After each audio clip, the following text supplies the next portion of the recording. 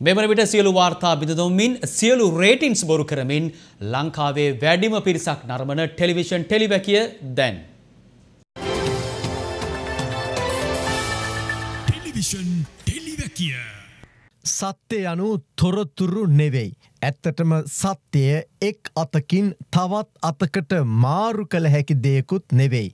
මගේ සත්‍යය ඔබළඟට එන විට එය ව්‍යාජයක් බවට පත්ව තිබිය හැකි. සත්‍යයේ ස්වභාවය එය තමයි. සත්‍යය මට ඔබට දිය නොහැකි.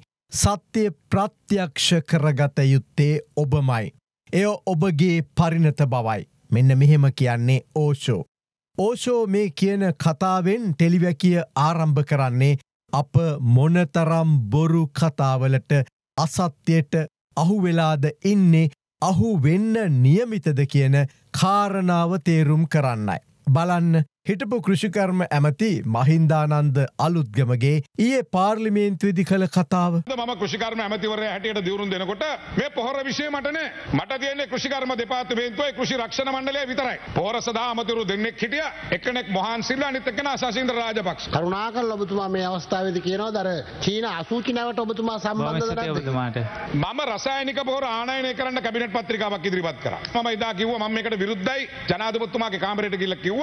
මේක මේ වෙලාවේ ගන්න එපා අපිට කාලයක් දෙන්න කිය. එතුමා කිව්වේ මේකට වෙනම රාජ්‍ය ඇමතිවරයෙක්කින්නවා ඔබතුමා කලබල වෙන්න එපයි කිව්ව. මතකද රසායනික පොහොර තහනම් කළ කතාව එවෙලාවේ රසායනික පොහොර තහනම් කරමින් කාබනික පොහොර ගේන්න හදපු වෙලාවේ මහින්දානන්ද ඇමති ඇතුළු පිරිස මොන තරම් ඒ වෙනුවෙන් පෙනී සිටියද නේද මතකද පලවෙනිකට අදූතේ විපක්ෂනායකතුමා කිව්වා කෘෂිකර්ම ඇමති එකක් කියනවා ලේකං එකක් කියන රාජ්‍යමති එකක් කියනවා. අපි කවරුවත් එකක් දෙකක් තුනක් කියන්නේ නෑ. කෘෂිකර් අමාත්‍යංශයේ අමාත්‍යවරයත් රාජ්‍ය අමාත්‍යවරයත් ලේකන්තුමත් සියලු දෙනාම අතිකරු ජනාධිපතිතුමාගේ ප්‍රතිපත්තියත් එක්ක අපි හිට ගන්නවා. මේ හදන පොහොර සියල්ල නිෂ්පාදනය කරලා තියන්නේ මුහුදු පැලෑටි වලින්. අපිට ඔක්තෝබර් මුල 10 පහ වෙනකොට පොහොර එනවා.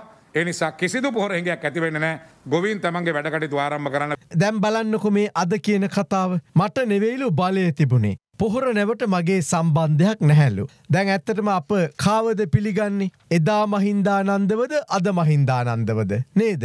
නැත්නම් එදා මහින්දානන්දයි අද මහින්දානන්දයි කියන දෙන්නෙකු වගේ පේන තනි බොරු කියන ටොම්පචයාවද කියලා අප දැන් තීරුම් ගත යුතුයි. අප ප්‍රතික්ෂේප කරන්නේ කාවද කියලා අවබෝධ කරගන්න ඕනේ. අප රටවැසියන් ලෙස මේ මුලාවෙන් ගැලවිය යුතුයි. එක එක වෙලාවට රටක අනාගතේ මේ විදිහට අමූලික බේගල් ඇදබාලා අන්දන අයව වෙනස් කරන අයව රිජුව විවෘතව ප්‍රශ්න කරන්නම අවශ්‍යයි. මේ අය යෝදය වගේ බොරු කියන්නේ අප ලිලිපුට්ටන් වගේ විශ්වාස කරන නිසයි.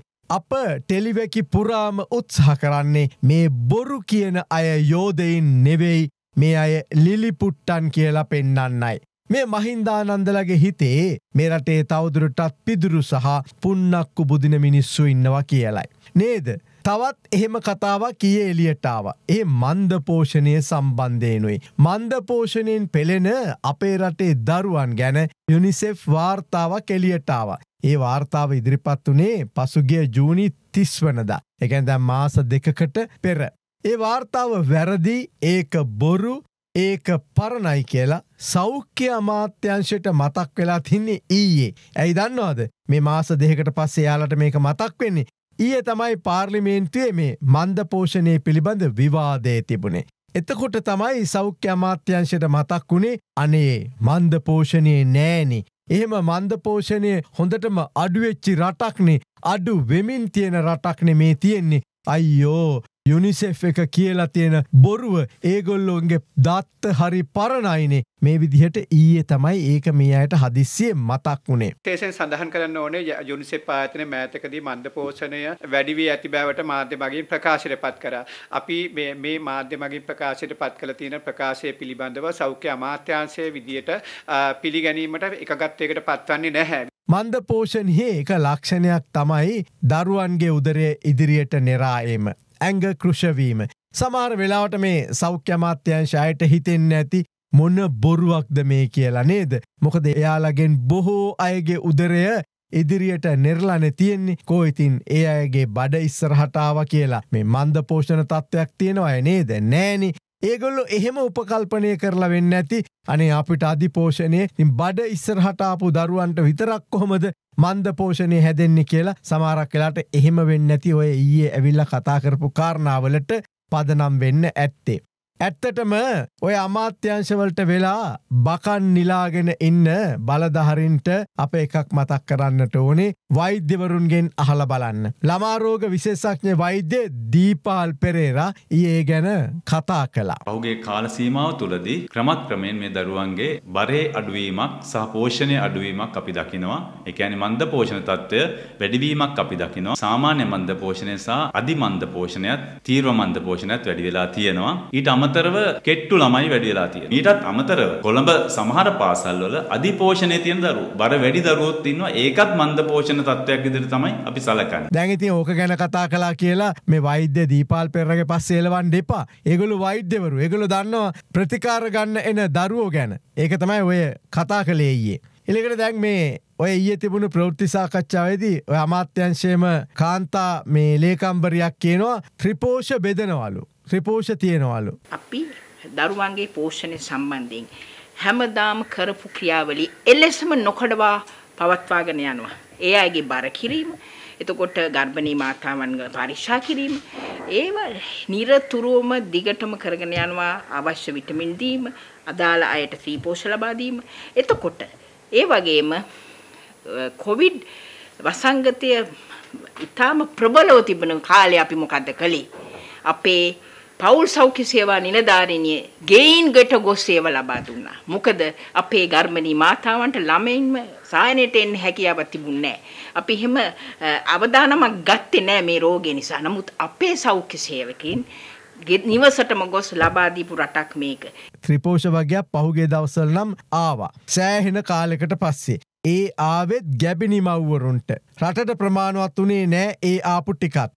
දරුවන්ට දෙන ත්‍රිපෝෂ බෙදපු දින බෙදන තැන් දන්නවනම් කියන්න කොහොඳේ දරුවන්ට දෙන ත්‍රිපෝෂ පැකට් එකක් දැකපු කාලයක්වත් මතක නෑ කියලා තමයි අපට දැනගන්න ලැබුණේ. ඇත්තම කිව්වොත් අද ඇමති සුසිල් ප්‍රේමජයන්ත පවා පාර්ලිමේන්තුවේදී මන්ද පෝෂණ තත්ත්වය පිළිගත්තා. ඒ වගේමයි ඒ වාසු දේවනානායකාරකිව මේ කතාවත් අහන්නකො. මේ සභාවේ ඉන්න අපි දෙසේ විසිපාක්කින්නවා. අපේ දරුවන් කාටවත් නෑ මොන්ද පෝෂණය ප්‍රශ්නයක්.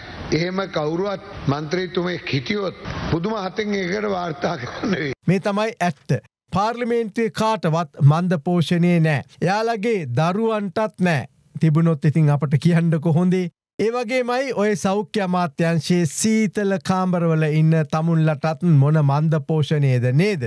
මන්ද පෝෂණය නෑ කියන මෙයට පාරාධනා කරනවා කොළඹ පැල්පත් නිවාසවලට යමුද දවසත් දෙක එන්නකො යන්න නුවරේලිය පැත්තට නුවරේලියට එන්නකේ වසන්තය බලන්න යන්න නෙමෙයි මන්ද පෝෂිත දරුව බලන්න යන්න. එහෙම ගියොත් කඳුකරේ මන්ද පෝෂිත දරුව බලාගන්න පුළුවන්. ඒ වගේමයි නුවර රට මැද මේ හැමතැන්ටම ගිහිල්ල බලන්න පැල්පත්වාසී දරුවන්ගේ ජීවිත කොහොමද කියලා. කොවිඩ් නිසා බිඳ වැටුණු ආර්ථිකය ඒවගේමයි රට ආර්ථිකෝ බංකොලොත්වීම මේ බිඳ වැටුණු පවුල් ආර්ථිකය තුළ අප කන හැටි ඔහේලා දන්නේ නෑ. ලිපා දන්නෙත් නෑ. ඔවු එහෙම කියලා අද ටෙලිවැකි අවසන් කරන්නේ පොහොර නැව දැන් නැංගුරම්ලා තිබෙන්නේ බොරු කියපු ගේම් ගහපු කෘෂිකර්ම අමාත්‍යංශයේ එදා හිටපු නිලධහරින් ගාව විතරමයි. මන්ද පෝෂණය පිළිබඳවත් මේ විදිහට බොරු කිව්වොත් ඒ බොරුව දවසක ඔය අමාත්‍යංශ ලේකම්ල ළඟම නතරවෙයි කියලා අද ටෙලිවැකියෙන් මතක් කරනවා.